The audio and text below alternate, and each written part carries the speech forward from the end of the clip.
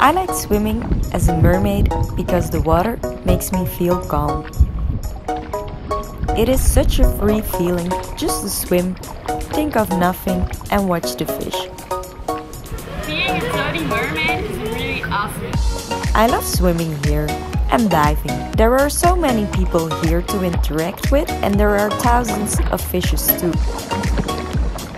I have all my mermaid sisters here, my mermaid friends, the humans that come to swim with me. Pufferfish is my favorite fish. The pufferfish come really close to you and they can make a mandala on the floor. Pufferfish make amazing artwork. I love art because it can bring you into a different world full of magic and wonder. It changes your perspective. Art has become a part of me. I have tattoos on my body and they are made of squid ink.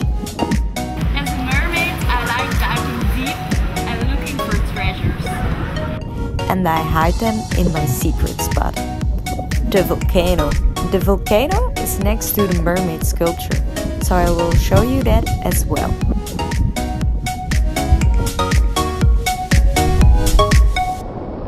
I have some mermaid treasures in the volcano and I turn it into a little art gallery. There are some stones in there, shells, and mermaid treasures.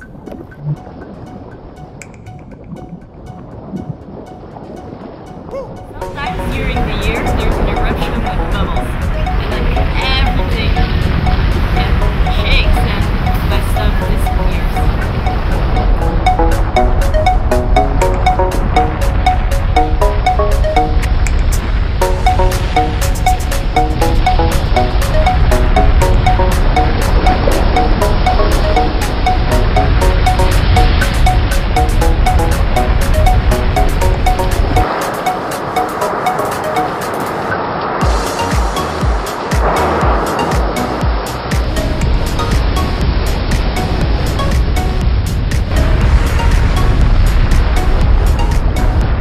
When the volcano is calm again, I have to explore the TODI Aquarium to find the lost artwork and return it safely to the gallery.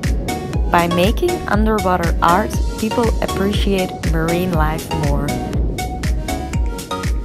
By looking at the artwork, they feel a deeper connection with the ocean. Art raises awareness for marine conservation.